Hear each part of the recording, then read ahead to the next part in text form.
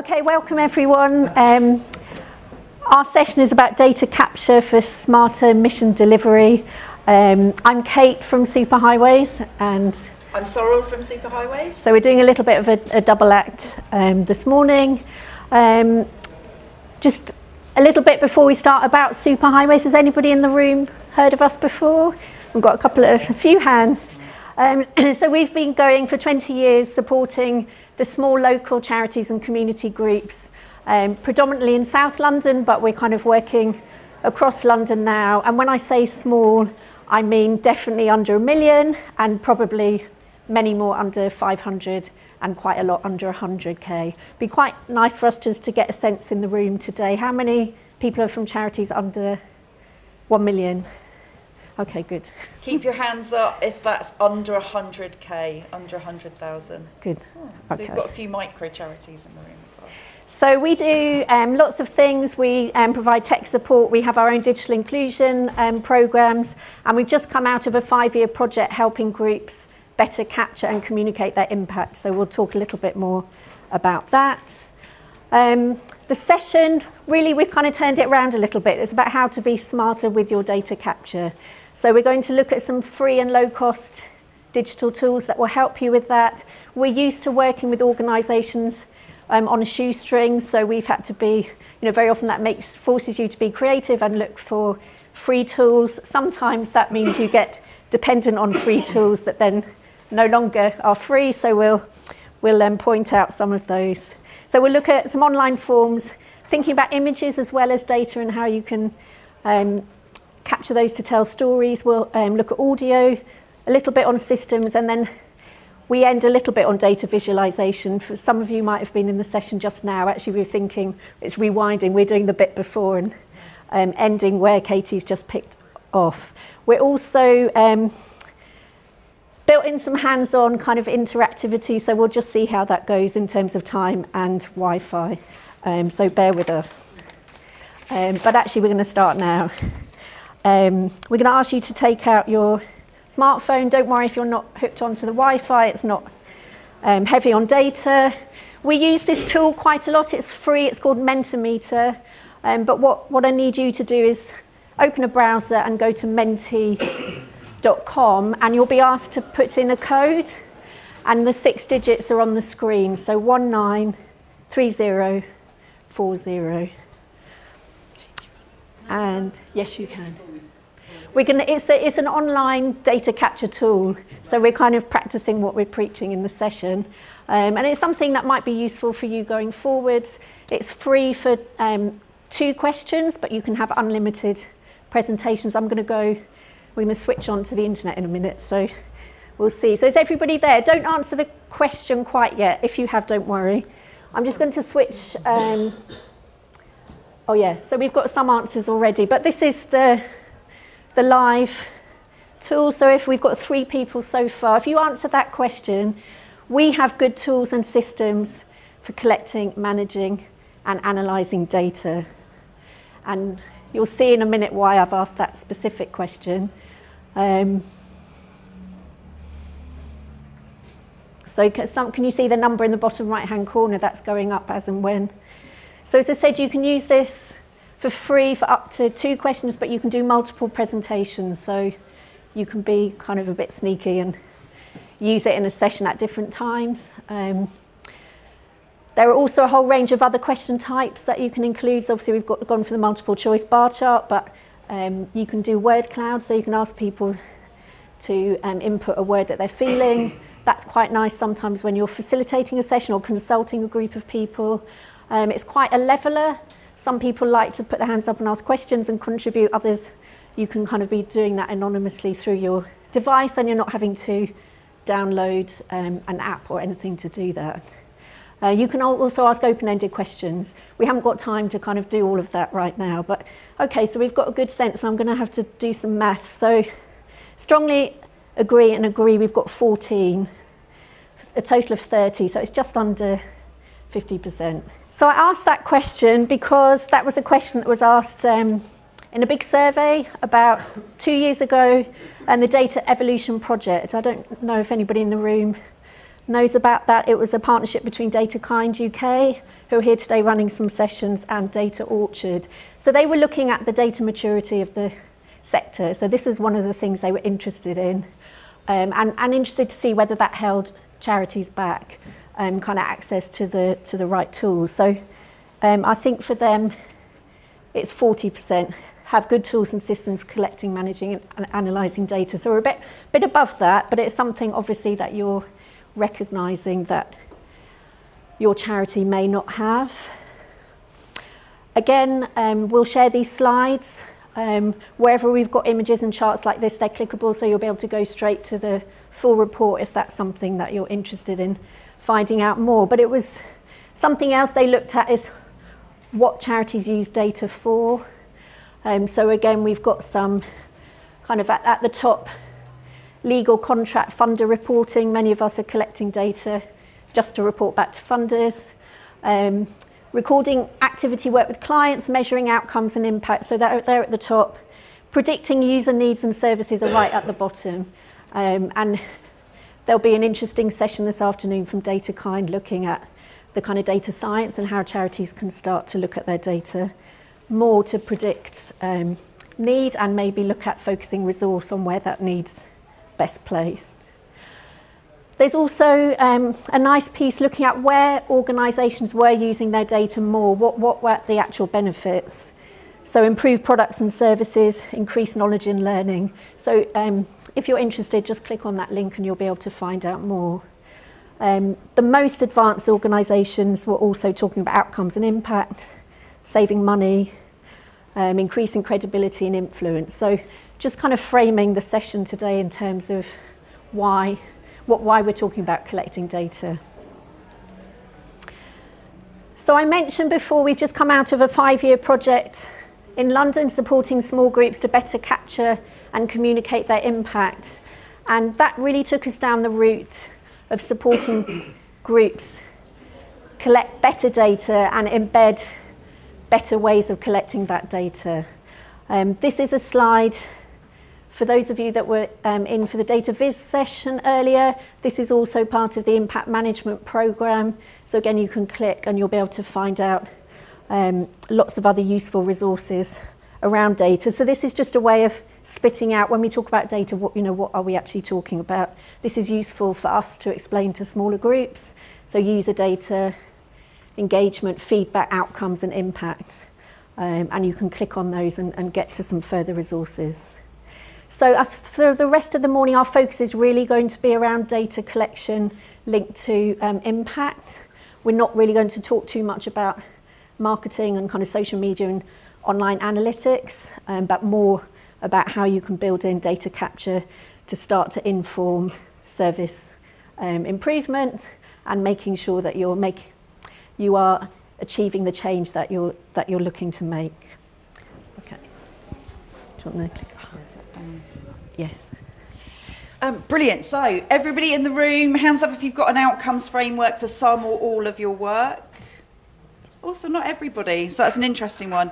I think it's not always the lens by which we plan um, our work, but um, it is a useful one to look at. So for anybody that's kind of needing a little bit of a boost, thinking, actually, how do we really track the changes in people's lives who we're working with? An outcomes framework can help you to do that and to look at towards what longer term impact you would you would really like to make and there's lots of really useful resources out there so Katie was here from New Philanthropy Capital um, just before this session if you joined it they've got some great resources on how you can do that on how you can really start to to to think about the difference you make and then how best you can capture information against that. So we're, we're kind of quite focused on um, technology um, ourselves at Superhighways, but there's some really useful information um, out about kind of thinking about what difference you make. Um, and also, um, for those of you who are um, probably local and in London, um, do check in with your local council for voluntary service as well. Um, they may have some free support or some targeted support around, around creating an outcomes framework. So do have a look for them as well if you need it. Um, so next on actually what um, New Philanthropy Capital also had a look at was um, the value, the levels of evidence that you may want to be collecting. So this isn't, that's not that handy. Um, so something you might want to think about now, it doesn't mean that anecdotes and quotes are not credible in this line of credibility. It's just looking at kind of what is the most robust data you can be collecting.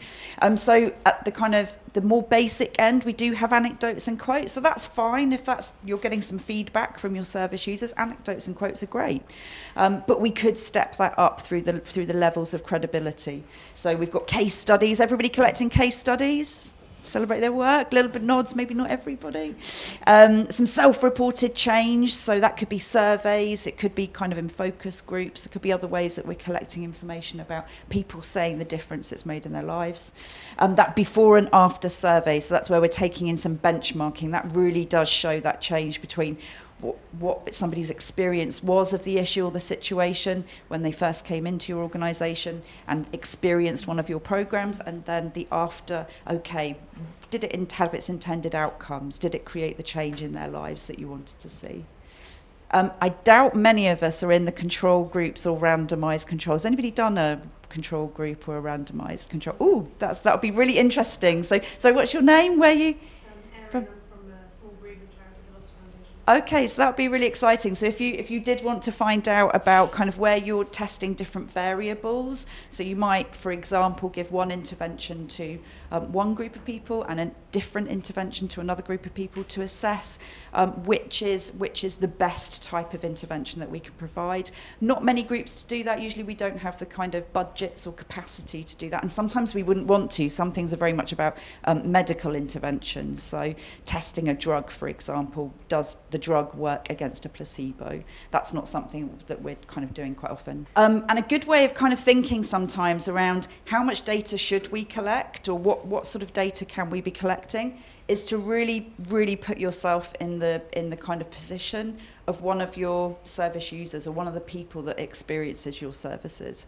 So what data are you collecting at different points of in that journey and how integrated is that data? So if you think about somebody just from the moment they either ring on a doorbell anybody got a doorbell in their organizations possibly? Um, or is it online? Is it the first time somebody sends an email or request what data are you collecting at what points all the way through to them exiting your organization and um, there was a, a, a charity that worked with, I think, Charities Evaluation Services, a London housing group, that looked at their beneficiaries' journey through that organisation. So, what data would be most relevant at which points they work through. This is something that's quite handy to do with a team. Just sit down, get some post its out, work out what somebody's journey through your organisation, where are their touch points, and who's most appropriate to take that data at that time. Yeah, and I think it's being smart and embedding that so that you're you're not missing an opportunity as well because you could add in some quick questions. You know, if you're reviewing your forms and looking at what you're not collecting, then kind of mapping it out like this will help. Um, a quick example, for us, when we, people book on our training, we use the Eventbrite system that probably lots of people do to administer um, bookings for training. There are some custom questions that you can ask. So we've added a few, you know, not too many because you've got to kind of gauge um, the time that it takes and also the expectation for somebody booking on. But if we ask for the postcode of their organisation when they book on, we can produce a nice geographical map to see where, um, you know, are we reaching across a specific area. So I think, you know, that helps by kind of mapping, mapping it out. Um, so yeah, you can do that online or offline. That's entirely up to you. Um, but that's a great one, I think, to just do with post-its and work out. Um, I'm going to leave Kate leading on from here, um, but I think this is something that sometimes um, still now is a is a problem for us. Do I actually look like I have time for digital and planning all of this in? So um, we'll we'll come on to some of the benefits of that and also what you could do. So yeah, these are some nice quotes from the tiny organisations that we support that really their first step is moving from that paper system um, into their, their first steps in terms of online data collection. Um, so just using some really basic tools can be quite revolutionary um, in terms of getting digital data that can be kind of analysed and shared internally much more easily. Um, and I like the second one, I no longer need to persuade the team leaders of the need for digitising our data collection. It's being automatically driven by GDPR. And I think this time, or this time last year, for some organisations, GDPR was maybe being perceived as a barrier sometimes. Um, this was a very small organisation that ran a mental health cafe on a Saturday. It's quite informal. They're, it's all volunteer led. But I'd, I'd kind of had a one-to-one digital surgery with um, the coordinator and he was an older man. Um, some of this digital stuff was new to him. I'm not making generalisation that um, that was the case. Um, he got it, what we were talking about, but he, his problem was then kind of taking that back um, with a, a committee of other volunteers and team leaders that kind of had a rota. Um, at, at the time, they were just using paper, but those piles of paper were being taken back to different volunteers' houses. So there was the issue of not only did, was it collected, I mean, it, it was centralised at some point, but there was always a delay. Um, so it was, it was quite interesting that he came on a GDPR info session that we ran and took it back and actually they realised they could be controlling, kind of authorised, looking at the authorised access much better if it was digitally. Um, it wasn't actually, the using paper was more of a risk. So it was interesting that that became the driver and that's what um, made them take that step. But there are lots of online forms. We haven't got time to go into the detail of why you might choose one over the other.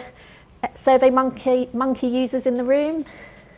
So quite, I mean, that's one that's been around for a long time. I still use that. The purple icon, anybody know? Google Forms. The green one next to it. Sorry? Yes, so that's Office 365 form, which, how many people use um, Office 365 in the room? Keep your hands up if you knew that there was a form app. Yeah, so this is what we find. Um, it's not, it's a bit hidden. People don't know. It has been there for about 18 months, and we're going, I'm going to demo it in a minute.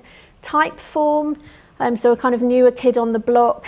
Um, fact, so if you keep an eye on SurveyMonkey, they're always introducing new features. So if I was running this six months ago, I'd say Typeform offers this and SurveyMonkey doesn't. But actually now taking payment is something that SurveyMonkey could do, which Typeform um, could before. Sharing dashboards is something that's a new feature in SurveyMonkey, so you can share results externally, directly from um, SurveyMonkey. But um, Typeform, it's a bit more designer looking, possibly, if you're going to embed a form on your website. Um, but with all of Stover Monkey Typeform and Wufoo, which I think we've kept there because you can upload images, but again, Survey Monkey might allow you to do that now.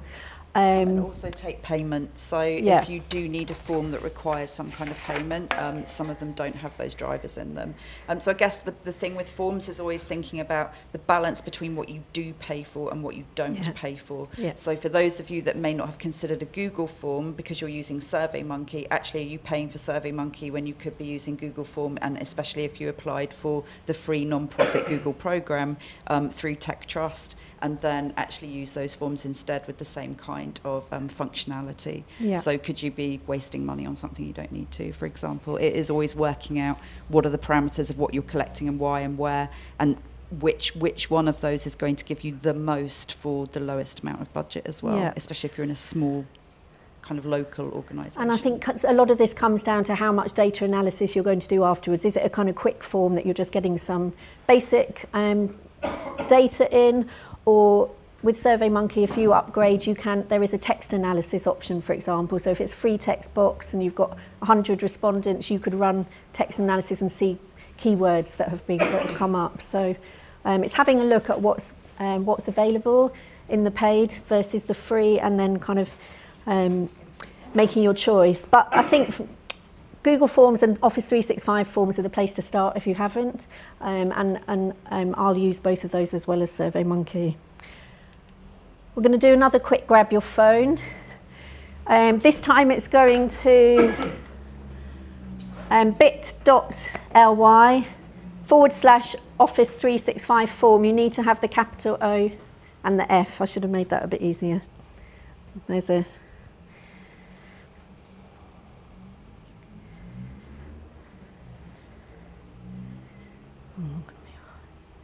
So again, you should have a question. And actually something else just to um, talk about whilst you go there is that the combination of a smartphone and these online forms and being able to add a shortcut to your home screen to, to one of your forms means you could be collecting data wherever you needed to.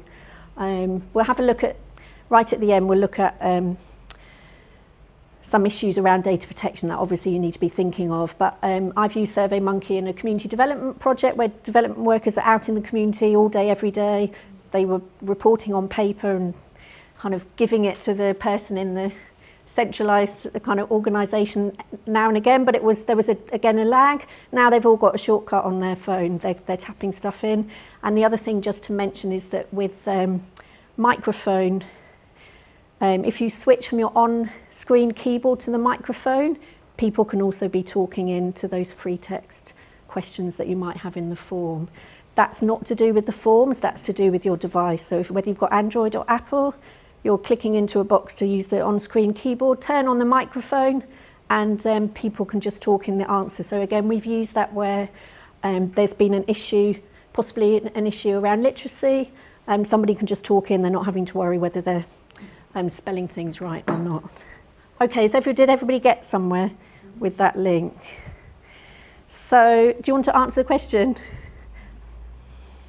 I'm not sure, I think this is where the Wi-Fi, okay, so I am not going to put it up on screen, but you can see it's just like Google Forms really. You've got um, a pie chart, it's probably changing a bit now, um, but you've got a tab where you enter your questions and then a tab where you've got results and you can share that link as well. So um, just a, you know another tool and especially if you're using Office 365 why not start using the forms that are there you can share them when you set up a form you can either set them up if you're using Teams or something you can set the form up within a team and then everybody in that team will see the results otherwise you have to share the link uh, oops. Mm.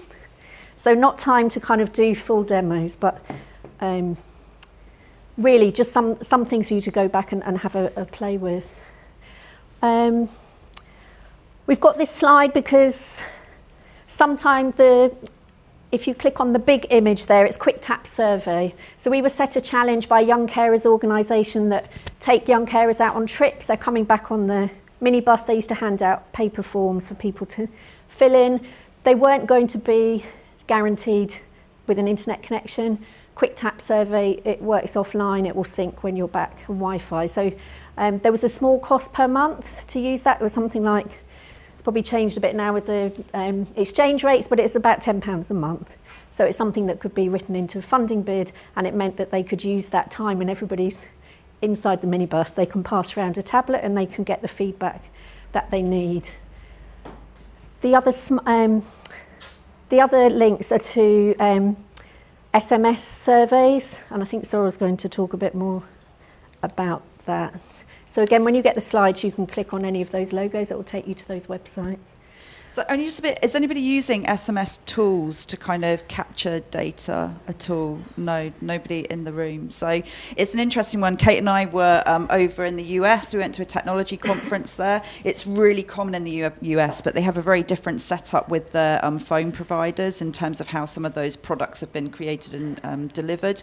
Um, there is a way of doing that bulk. So what you're really talking about is bulk text messaging um, that's through a service and you can manage it through an online portal portal, so you're not actually doing it with your phone, um, and, being able to communicate with a wide range of people. Um, what we heard from people in the States, and certainly anybody that's done it here in the UK and is using SMS, it, it increases your engagement rate dramatically um, in comparison to other forms of digital capture. Um, it's because it's in people's hands, it's in their pockets, and it's part of their everyday usage. So um, we might all feel we're a little bit annoyed by us being asked, you know, um, when we've bought a product, you've just bought a kettle, and they want you to review it, and how great is this kettle? And you think it's just a kettle. Like I just, I don't, I don't really want to do that, um, and that puts us off thinking of SMS as a, as a valuable option. But actually, when you think about people have received very valuable services from you um, that it means a lot to them. And it's the same with any data capture, explaining your purpose, why you're capturing that information, and how valuable that is and how important it is, is the same no matter what capture methodology you use. So um, SMS has a real um, opportunity to, to kind of expand. It's also great um, for people, you might, anybody using kind of WhatsApp or any of the other messaging services to capture data from people. No. So I think, yeah, a little bit. There's so I think thinking about how, depending on your audience, you know, are they people that are kind of on the internet all the time and desktop, or are they on their mobile phones? Um, and that's that's where you're you're kind of getting. Maybe people don't even still um, have smartphones, for example, in the communities that you're trying to reach, but people have a text, and that might be a way of staying in mm. touch with people, but also asking them very valuable questions about how well you're performing or um, information that's very specific to your outcomes that you're trying to achieve. Um, so um, I wouldn't write off text. We've also been working so um, through the Law Centres network. Um, they've worked with an American company called Twilio, which is an SMS platform, um, to produce a UK-wide platform that will be released shortly. That's at the moment um, in just in terms of appointments and letting people know, you know, when the next thing's coming up. So it's staying in touch with people, but it could be expanded and, and should be, we would say, expanded think, to include. I think that's their intention they're starting off, so this will be made available for all the law cent- the local law centres, I think. Um, and and we're to we need to do a case study of that so we can point people to find yeah. out further information. But it's an interesting process, design process that they went through to get that to get there because I think they had a very different idea at the beginning. Um, so we just wanted to kind of highlight as well, thinking about this is a little bit less about your actual technology you're using to capture your information, although sometimes the way you ask questions can change depending on um, the technology you're using. Obviously, a question you might put out um, in one format might not be um, the same as you put out in another. Um, so often mobile surveys, for example, if you were to use Smart Survey or Quick Tap Survey, um, the question formation may be slightly different, um, depending just so that it makes sense for the for the tool, like for a slider scale or a for example, that you're using um, might look very different to something you're doing on paper. Um, there are some links here to asking better questions. So those questions which are less biased, less leading, um, that can get genuine answers. If you're if you're interested in shaping the quality of your services, then you do need to make sure that that you're doing that and it's not just capturing information that shows how good we are, which in a tight funding environment I think we're, we can be in danger of doing, is to ask those questions which give us is is is this kind of working? Yes that's great brilliant now we can go get some we can go get some cash. But actually are you asking questions that mean that you will change the direction of how you're delivering something um, and that's really important so there's some links there to asking better questions because it's it's quite important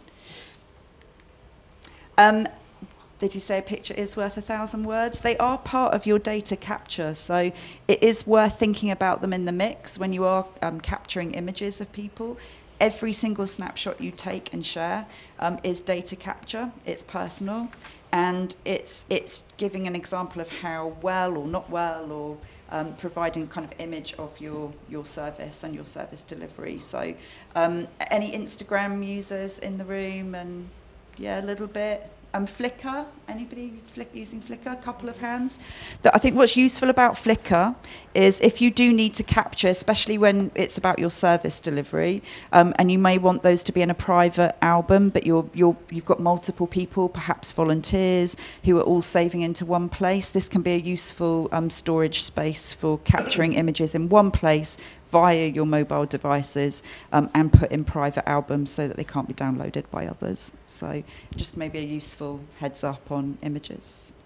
Any others? Does anybody anybody have anything anywhere um, else that they're storing the photos that they take or using it as part of participatory work? In a little bit. Yeah. There's a service called ClickTools, which has decent image storage. Yeah. So again, that's a paid for. Sure. Do we know what kind of pricing structure uh, they have? Or? About ten dollars a month. Okay. Okay, we can add Okay. So yeah. Yeah, that's I think the same the same thing with any data capture. Anything you use is always about storage. So Mhm. where is stuff going? How many people are collecting data? Where is all that going? So I don't know if anybody's and I've done this myself. Is that where do we need to find that information? I don't know. It's buried down in somebody else's project files. Right, so if you're taking data from people, that stuff has to be in it, stored in a way that is meaningful. And if you leave the organisation, if anything kind of else changes, that you can map that against that person. So it's really important. Okay.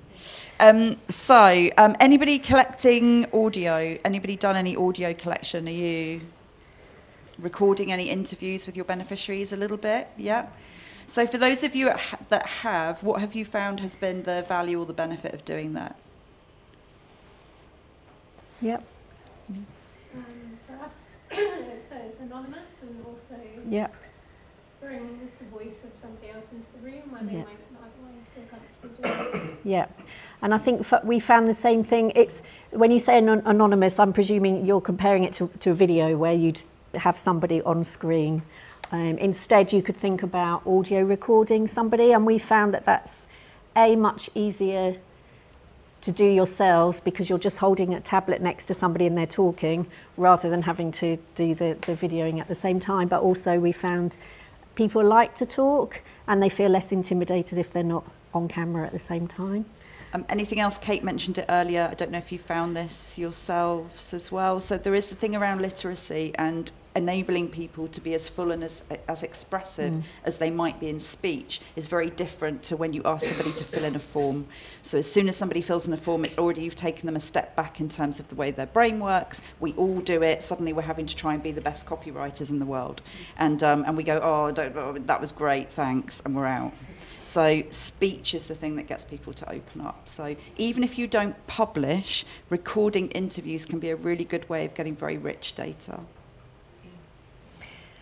So, which so we're, we're um, yeah, I'll just explain a couple. So we've been using um, as our recording space and um, sharing space for audio, um, Audio Boom, um, which until this is where we cry as people that work in technology. Um, they used to have an app that you could use on um, Android and on Apple devices, um, which would mean that you could record on the app um, and make some simple edits and then upload to the online shared um, space, um, the portal which you would have create your free account in, and then they changed it to being paid, um, and now they've taken away the app, so that's very sad. But you can still um, you can still pay for it as a great spoken word sharing space um, if you need to publish your recordings, um, which can be embedded on your site just like YouTube videos. So, um, and it's a place that's for podcasting. So there are lots, obviously, the BBC and various other people that might use this for um, actually doing podcasting that people can download and listen to.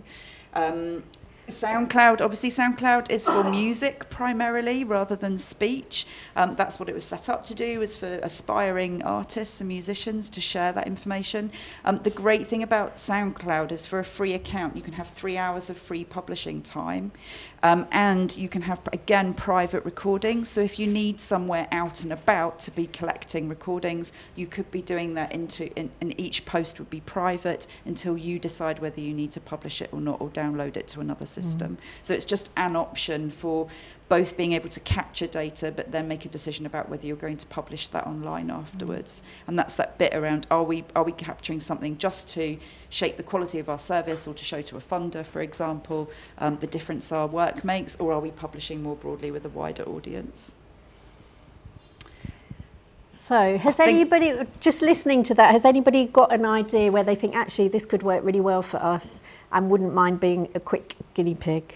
We haven't got time, we've got some other tablets. There's too many people in the room, and I don't think we've got time for you to, to do this. We run a day session on um, the power of audio storytelling, and we do a little bit around interview techniques, and, and people go away being really comfortable to use these um, apps. But it'd be nice to do a quick demo. Um, any volunteers? Paul, I was going to say if there were no volunteers, I might have asked Pauline. so I've got Pauline, the we might SoundCloud you to come to front so that you're on Yeah. screen. Yeah. Our TV star. So I've just um, opened the SoundCloud app on this big tablet. It's connected to our account. So as we're doing this, Sorrel will switch online and we'll, we should hopefully see. Uh, what we found as well is um, sometimes we'll do very short sound bites. Other times we'll do much longer interviews, and it's really thinking about what you want to do with the audio afterwards. But quite often we've ended up um, compiling lots of different audio and um, putting together a digital story. So mixing pictures with the audio, and it might be audio from a number of different people or, or from one person. Um, so you get a visual. You're hearing. Some people also are happy to have their photo taken as part of that. Okay, so I'm going to do. Okay, record. Right, so I've just switched on record, um, and I'm just going to ask Pauline to tell us a little bit about where, what she thinks this might be useful for. Um, I'm doing. I've, I've done a project in the past, uh, oral history project, so it's handy to get people's stories um, straight away, and they tend to remember the things as they go along, where they might not remember if they're writing stuff down. Yeah. Um, I interviewed somebody at a uh, the President of Ireland visited Birmingham on Okay. Monday, and I interviewed an older person who had a memory of establishing a, Tuesday club, a, a club for elders, and she was very animated. Um, I was filming her as well, but her voice was really animated about it, and she was delighted to be interviewed. So that was really good. Great. So I've got orange sound waves now there, and I can just um, go through the instructions to now post recording. I skipped taking a picture. I could have asked Pauline, can I take a picture of you? Um, I didn't even name it, so hopefully we'll just see a new one come up. So this is what it would look like in your account. Um, Audio Boom we always preferred in terms of the kind of public facing. You set up an account, link the app to your account, and then it syncs automatically. So um, that's it, I think. Sounds from Wednesday morning. We haven't got the sound on actually, but just to show you, no, but just to show you that it, it's it's a kind of live thing. And for us, it doesn't mean that you're having to plug your phone. You know, there's you'll, you'll have a voice recorder on your phone as well. Before you might have had to come back, plugged your phone in, uploaded the audio file. This just makes it much nice and sim- simple. You can also organise your audio sound bites into projects. So we've done that before and shared back with the funder, for example, kind of grouped things so that um, you can you can tell a story of a number of different people that have accessed something in particular. And as Sorrel said, you can, by default, you can it will um, publish publicly. So somebody could search through SoundCloud and find our account and find this. But equally, um, the great thing about SoundCloud is you can also opt for private publication, which means it will only be accessed by you as you log in. So you can go in and add the image afterwards. Quite often when I'm doing this, I just want to publish it because I don't want to lose that, you know, great audio interview, but you can go in and um, and make lots of changes once it's there and put a description in. And I think that's something that we've picked up a lot. Put in quite a rich description because some people might be accessing this when they have when they haven't got headphones or um, to listen, but as they could still get a sense of. Sometimes we've we haven't found the tool that will automatically transcribe for us, but that would be that would be great. Well, maybe we can share that afterwards. Yeah, thank you very much, Pauline. Thank you. Let's go back. Is that one? Yeah, yeah. Okay, so yeah, that's what we didn't have time for. Um, so I'm just going to run through a few examples of where people, what people have then done next. So they're very little examples, but um, once you've started to capture your data, it's thinking about what you can do with it. This is an example of a, this is a, another Young Carers project. Um, somebody came on Excel training that we ran, so it was quite, quite basic. We did kind of go up to pivot tables and they started to really explore their data more. And what I like about this example, you won't be able to see the chart um, that clearly, but basically they had cuts to their funding. They weren't able to run as many youth clubs. They had to kind of centralise where that offer was. They looked at their database to see the spread of young carers in the borough across the postcode. So that's what the bar chart is. Um, and the blue is the information from the database. So far left hand side, KT4, they knew there were young carers that lived there, but there was nobody from that area accessing the, the youth club. So um, they kind of delved in and although they had that hunch, now they actually had the data to prove it and they went to a funder, got a small pot of funding to pay for a minibus to go out to those areas and pick people up and take them to the to the youth club. So it's just a, you know a little tiny ex- example. Now you can see in green that there was access from um, other areas and there was a a rise actually anyway with the number of young carers registered. Um, but just a kind of simple thing, once you started collecting the data, they had the postcode data, so they could then delve in a little bit more. We kind of talked about data capture, and yes, you can use spreadsheets, but there might be a point where you're actually needing to think of a system. Um, some of these systems will allow data capture straight into them. Others you might have to capture your data and put them in. Um, anybody in the room using any of these? So there, there are kind of free and low, not free, lower cost systems, I would say. So again, when you get these slides, you can click on the logos to find out more. Um, but we found with the slightly larger organisations, around about 500,000, they may be looking um, or starting to think that they need a system, especially if they're running multiple projects where individuals, same individuals are accessing more than one service. So um, just some information for anyone that's kind of at that stage, you can have a look at those systems. Um, we would recommend that whatever budget you have, don't spend it all on the system. All of those are online systems, so there'll be a cost per month. Sometimes that's a cost per month per user, other times it's a cost per month per functionality that you're using. Think about saving some of your budget for training, embedding. Um, otherwise, you'll end up with a system that could do what you want, but it's not doing what you want. You're not getting the data in because it's not embedded within the organisation. People don't understand the importance of it. They haven't been brought along on the journey. So we always talk about 40 60. I, I need to remember where I got that from, but it's thinking about the, the spend on the system, the 40, and actually more of a spend on making sure that it's embedded, having a budget to, rev- to review regularly, um, having a budget that when new people come in, they can be trained up. And then this is um, just some quick snapshots from an organisation that moved to one of those systems and what it actually meant. They kind of reflected a year later. Um, so implementation of a new case and information management system has streamlined how we record our work on a daily basis across all of our activities.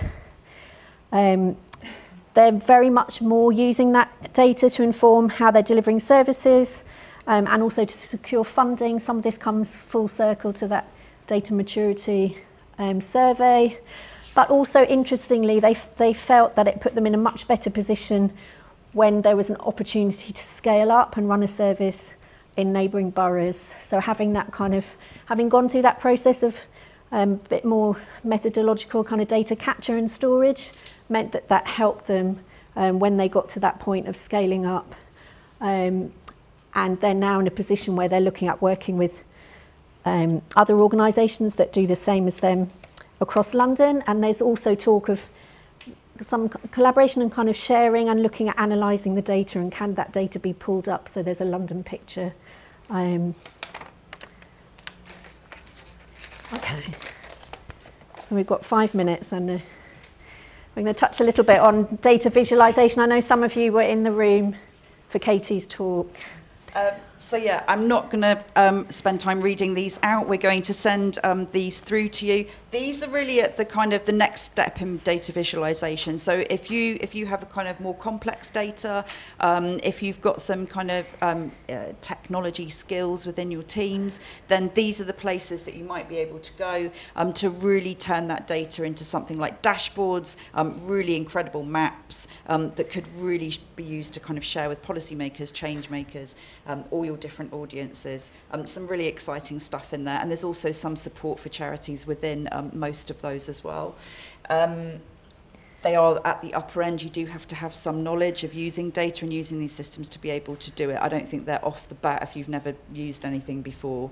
Um, I don't think these are the places to start. However, if you want to go back a step and do um, a little bit more, um, just even these are just examples of things that have been done very simply and very by very tiny micro organizations um, at a borough level. Um, and these are using kind of tools which are quite simple either within your own database so often your own database will have um, reports that you can just churn out quite quickly and have some data visualizations. For example how um, people have moved through your organization. It might be that you've tracked those outcomes in a I don't want to call it a star. The star is actually um, that is the outcome trademarked, star. No, but that is the outcome yeah. star, so I'm okay. Um, you'll find um, outcome stars are also called wheels and um, other names because that's been trademarked. Um, but that's, yeah, your database may give you some really useful data visualizations that you can share very simply and, and also understand within your teams how well either both individuals are moving, but also how groups, um, groups of people are moving through your service. Um, Piktochart, anybody using Piktochart in the rooms? A few Piktochart users, even Canva. Um, Canva, these are things you can use for free um, and get charity discounts or charity upgrades for for free um, to use their business versions. So they're, they're really good little tools to play around with and get started with your data visualizations.